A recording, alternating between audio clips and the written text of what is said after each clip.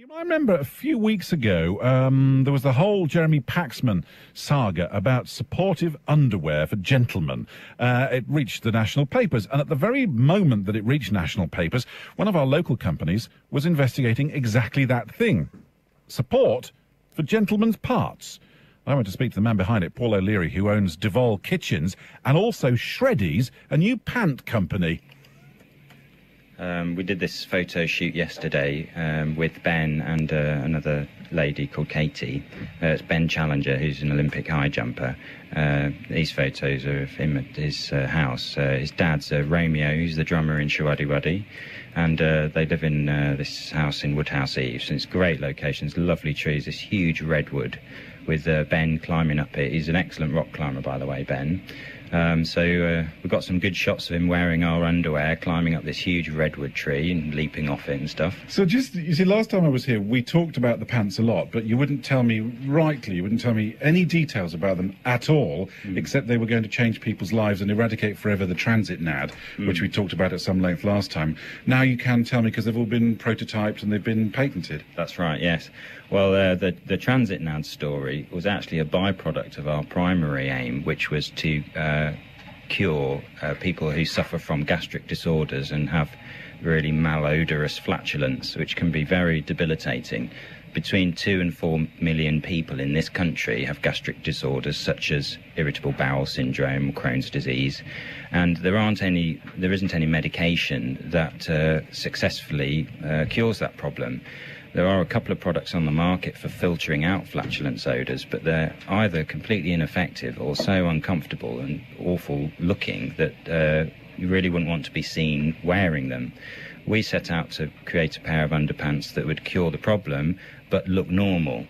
In the process of doing that, we found out that the snug fitting of the activated carbon panel could only be achieved if you lifted uh, the testicles and penis out from between the legs and held it up forward so you get a snug fit under the gusset. When we did that, we realized that these pants offered greater support and package enhancement than any other pair of pants we'd ever seen.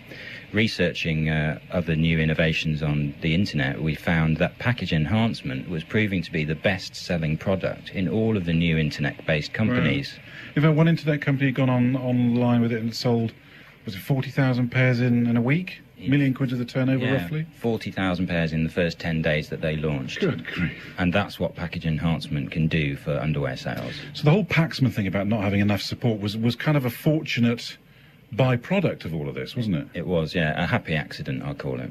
So you've got these pants. You, uh, if you buy the sort of super pant, which has got all the aspects in it, it does three things. It does, yeah. It does uh, package enhancement. It does testicular support, adjustable, and also flatulence filtration. We're having the flatulence filtration claims tested at uh, De Montfort University's textile testing department, and um, they are using a gas chromatograph to measure just how much odours are absorbed by the activated carbon and how many odours pass through it. And we also have to do wash care instructions yeah, and cool. uh, careful careful to make sure that the product remains effective after 100 washes. It's been an amazing journey of discovery, really, for you, hasn't it? You know, you started off making kitchens, and now I would imagine that, whilst that's the primary business, that this is very distracting, isn't it? Well, it's better than distracting. Yeah. The kitchen business, thankfully, runs itself. I've got a great general manager and uh, great kitchen designers. But um, I, you know, I have another company, a flooring business that kind of runs itself with a little bit of uh, overseeing from me. But this is what I love doing. I'm a product designer at heart. Mm. I've got designers all around me, and we're just having great fun. Isn't that great? That's Paul O'Leary speaking to me yesterday. And listen out on Monday because I also spoke to Ben Challenger about a how he's getting on with developing these pants and uh, how he's hoping and looking forward to the Olympics. So listen out on uh, Monday for the rest of that interview. It's 13 minutes to 8.